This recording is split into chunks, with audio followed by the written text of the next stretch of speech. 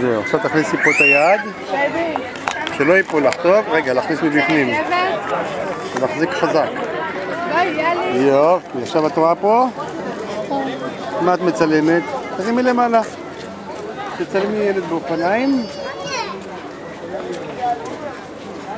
ותדברי, שישמעו אותך בטלוויזיה בבית. תגידי, מה את מצלמת? מה את מצלמת, מאי? נינוק. תינוק. נכון. ומה עוד את מצלמת?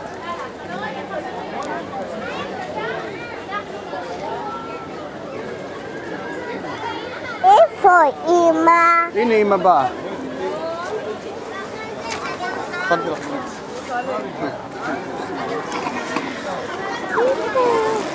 הנה, את רוצה לצלם את הגורילות? כן. לא לסגור, תפתחי.